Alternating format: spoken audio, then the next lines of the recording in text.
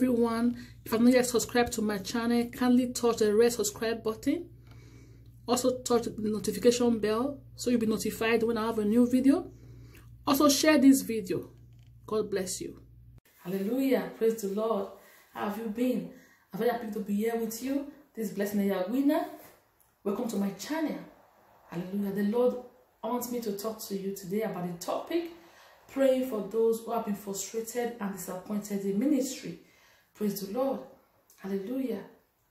Let's pray. Father, in Jesus' name, we thank you for the privilege to hear your word. We thank you because your word brings joy, your word brings peace, your word brings miracles. We receive your word with meekness of heart. In Jesus' name we have prayed. Amen. Praise the Lord. Yes, I'm here again today praying for those who have been frustrated and disappointed in ministry.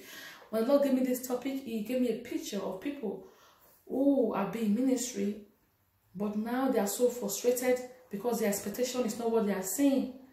Hallelujah. And the Lord wants to talk to you and pray for you. Praise God. Let's look at the book of uh, Genesis. I'm not going to be reading Genesis because it's going to be a long one. I'm going to be telling you the things that are there. Genesis 37 to chapter 50. Hallelujah. You read about Joseph. Joseph was sold by his brothers, uh, you know, to a slave. Was sold. But I'm going to at the aspect where he served. Potiphar. Praise God. Because as someone in ministry, you are serving. Joseph served Potiphar so well that in the book of Genesis 39, 1 to 6, he says that Potiphar found that Joseph was prosperous in everything he, did.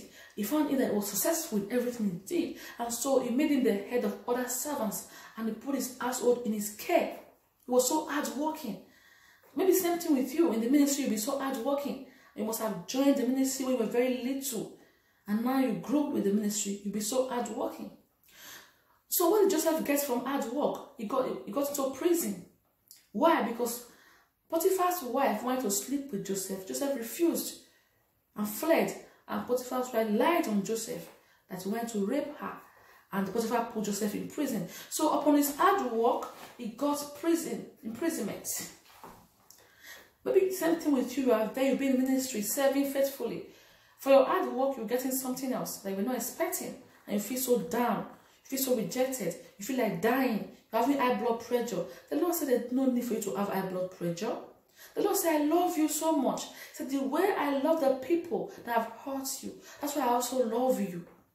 You cannot, because of other people who have equal rights with you before God, die. No. God said to tell you that the same rights those people that you feel are hurting you have before Him. That's the right, equal rights you have as a child of God. So therefore, you must live your life. Hallelujah. You must be courageous. He said, Don't be so down that you want to die. Don't be so down that you are so frustrated. Said, No, get up. Get up. Look at Joseph's story. So he was put in prison. Hallelujah. And in the prison, he still has some courage. I'm going to prove it. He still has some courage. He still put has himself put together. I'm, I'm going to prove it. When a fellow prisoner had a dream and told Joseph, Joseph was able to interpret it. Why? He was not so down. If he was so down and without courage, he would not want to hear any dream thoughts of interpreting. You'll be thinking about his life in the prison. You'll be so down, dying, so down, feeling so bad. Oh, I served so hard in Potiphar's house. See what I'm getting. Oh, my brother sold me before. You will not want to hear any dream. You not have the strength. What's the meaning of courage? Strength in the midst of pain. That's courage. Strength in the midst of pain and trouble. That's courage. He was able to, the, the fellow, prisoner said, I had a dream. He had courage. He was able to sit up and interpret it. And that got him to a higher position.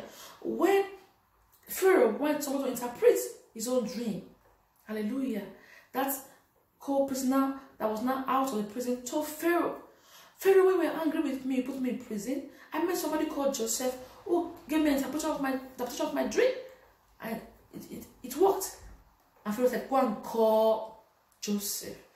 Listen, If you are so down from the frustration for the ministry I put on you, you will not get your promotion. You will not get where you are going to. That expectation you are you're looking for, you will not get it. So get up. Get up. Put yourself together. Still do things. To people. Be able to do things here and there. So those things will lift you up and give you promotion. Just like what happened to Joseph. Hallelujah. So the king said, go call Joseph. And Joseph came. And Joseph interpreted the king's dream. And that point again, why I say I will prove you that he have courage. When the king said, Go call Joseph, Joseph did not just get up to go to where he was looking. No, Bible says in chapter Genesis chapter 41, verse 14, that Joseph shaved and changed his clothes before going to see the king. You see how himself put together. You see some, you see some excitement in him. You see I some to, to, togetherness, some courage. He was also down and so out. As people today call the ministry as they feel the ministry have frustrated them, or they've served there for they're so little, and they feel that they're so cheated, they're not where they're supposed to be, they're demoted. Their spirit is out of them. Their spirit is like just out of them. No more spirit in them. No. The Lord said, No. Said, I love you. Get up. Be happy. So, so, he said, the Lord showed me now. He said, I'm going to make you rich. He said, I'm going to bless your future. The Lord showed me that now, that's now. He said, I'm going to bless your future. Don't let your spirit be out of you. Get up. Get up. Be happy. Hallelujah. We'll read the scripture very soon. First of all, the Lord is with you. Joseph shaved his beard. He dressed up. You see how that time and that thinking to, to, to, to that assessment to dress up, to go. And when he got there, he interpreted the dream for the king. And what happened next? To cut the long story short, he became second in command to King Pharaoh. Hallelujah. If he was so down and frustrated from what happened to him Potiphar's house, he will not get that position. He will not get there. The Lord had to tell you today, you've been there so cheated, so frustrated, so disappointed in the in ministry. The Lord said, Get up. He said, Be courageous. Let some strength be in you. Let some strength be in you. Don't be down. Don't let your spirit be out of you. Do not die for that. He said, Because I love you too much for you to die for that. He says that people that are doing things to you that make you frustrated, you and the people, you have, you have equal rights before me. You say you have equal rights before him. So why will you die for another man? Why will you die for another man? who has equal right before God. They may be your leaders. And forgive them. If you are bitter, you will not get to that place that God has for you. Forgive them. Don't be bitter. If you are bitter, you don't be able to do anything. Be so down. Forgive. Square up. Move on. Move on. God has a great destination for you. Hallelujah. That's what the Lord wants me to tell you this evening. Hallelujah. Joseph's spirit was not down and out.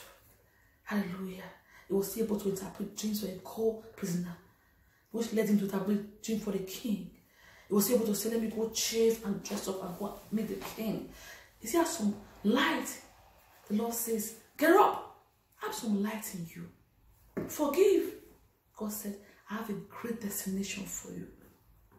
Say thank you, Jesus. Say, thank you, Jesus. Say because I love you. Say I love you equally. With those people that are persecuting you, that are making, doing things to you that you, that you feel you are being cheated, you are being uh, disappointed. He said, you have equal right with them before me. He said, I love you the way I love them. Why die for them? Get up. Forgive them. Forgive them. Move ahead. There's great joy and light for you. There's life for you. Let's look at the book of Jeremiah 29. So we'll close with this. Jeremiah 29 11. Jeremiah 29 11.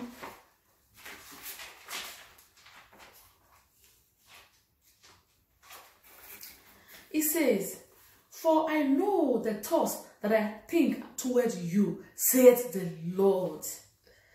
Who is talking? The Lord thoughts of peace and not of evil. Thoughts of what? Peace and not of evil. thoughts of peace and not of evil. To give you an expected end. To do what for you? To give you an expected end. That expectation that you, you do not have right now, make you feel down. Maybe I'm not even married now. The Lord says, I know the thoughts I have towards you. Hallelujah. It's a thoughts of peace and not of evil. Hallelujah. He says to give you an expected end.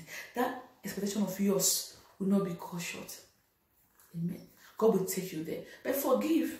Don't be bitter. Square up. Pray. Get God's direction. Let God talk to you. Get direction from God. But know that God loves you and He wants good expectation for you. He wants your expectation not to be cautious. Praise God. He wants good things for you. Hallelujah. Praise the Lord. The Lord made me to come and talk to you this evening. He gave me this topic. Hallelujah. So you are there. I pray my this video gets to you. All of you that need it. Hallelujah. I pray it gets to you. Praise the Lord. I pray it gets to you. Hallelujah. Because the Lord loves you so much. Remember, remember, God loves you equally. The way He loves those that are persecuting you, He loves you like that. So do not die for them. Christ died for you, He died for them. You don't have to go and die because of what somebody else is doing to you. Forgive them. Move on. See the face of God. Rejoice. For He says, I know the thoughts I have towards you of good, not of evil, to bring you to an expected end. Rejoice. You are blessed. You get there. You get there. You testify. You get there. Hallelujah. God has so much in store for I'm so excited. I can see it. I can see it. I can see it. God has a victory for you. God has a marriage for you. God has everything you dream of for you. God has that, those goodies for you. Rejoice. You will testify. You will stand there and say, Is this me? Hallelujah. Let's pray.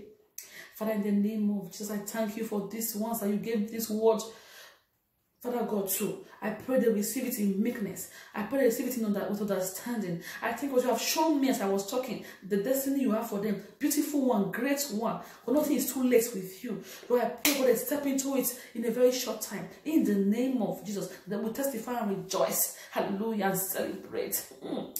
Thank you, Father. When you turned away the captivity, of, of Zion, they were like those that dream. Lord, thank you, you're going to do the same for this one that are watching me now. In Jesus' name, amen. Hallelujah. Thank you, Lord. In Jesus' name, amen. I'm so excited for you. Hallelujah. And now, for those of you that come for this video, you're not born again, give your life to Christ. Christ, Jesus, is the only hope, is the only one that can help you from frustration and disappointment. There's no other. Give your life to Him. He died for you on the cross. It's not a mere story. It is true. He died for you. When you give your life to him, you will know more about him. Now, say this prayer after me if you're not born again yet. Say, Lord Jesus, today I accept you into my life to be my Lord and Savior. I believe you died for me. And on the, do- on the third day, you rose up again from the dead. Lord Jesus, I receive you. I accept you. You are now my Lord and Savior. God in heaven, thank you for giving me your son. I am now yours. In Jesus' mighty name. Amen.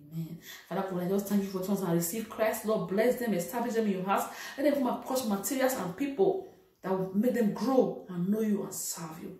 Thank you, Lord, for everything. In Jesus' name, amen. Hallelujah. I'm so happy I was able to deliver this message that the Lord wants me to deliver. Until I see you next week, I do video weekly. Subscribe to my channel. God gives me topic every week to share. I don't take topic on my own. God give them to me. Subscribe to my channel so you can hear what the Lord is saying all the time. Hallelujah. Thank you for watching. God bless you. Till I see you next week. Bye. I love you.